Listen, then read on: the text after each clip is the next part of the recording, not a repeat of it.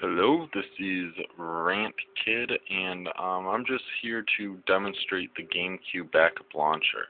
Now, if you uh, saw my blog at therantkid.blogspot.com, I go through and, and show you a little bit about the multi-game ISO creator that you can then launch with the GameCube backup launcher.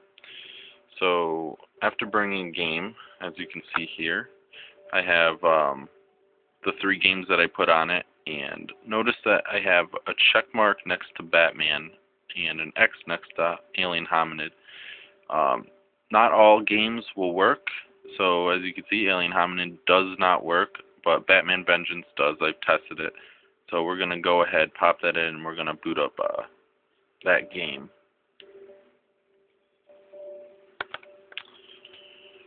So here we are going to launch the homebrew channel.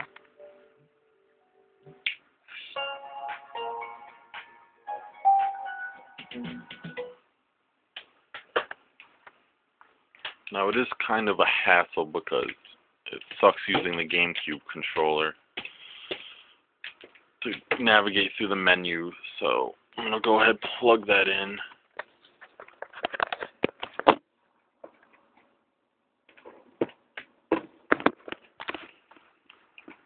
Okay.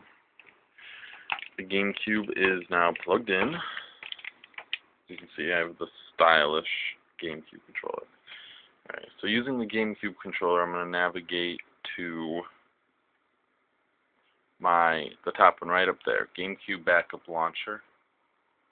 Um, that MIOS patcher down below, that actually comes should come with the backup launcher. You have to install that patch before using the backup launcher. But you can get more information on that elsewhere. So I'm going to launch the backup launcher. Load it.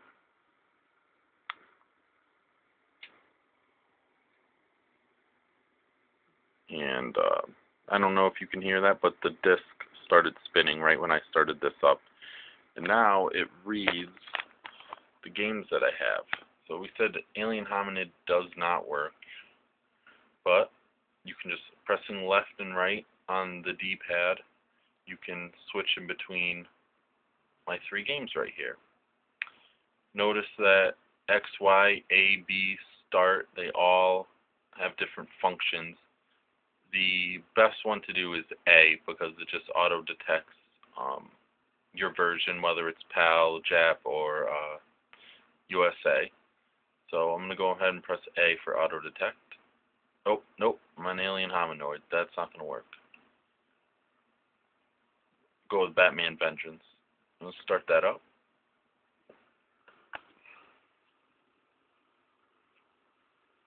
And fast load.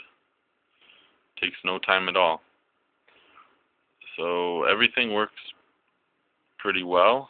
Um, for those of you that don't know, you have to use a memory card to save the games. It won't save to the hard drive, which sucks. Because every time you go to use the backup launcher, it fails because you have to take out your the Wii backup launcher, I mean, the original to launch the Wii games. You have to take out the memory card because it won't work if it's in. So it's kind of uh, redundant to go and inconvenient to take out the memory card, put it back in. Anyway, it works perfectly. So it doesn't lag at all. I've tested it all out. Um, the only thing that I would like to see from WiiGator is the channel, so I don't have to go through the backup launcher.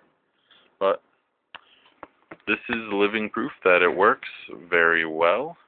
And uh, read my blog for more information on how to do it. Thank you.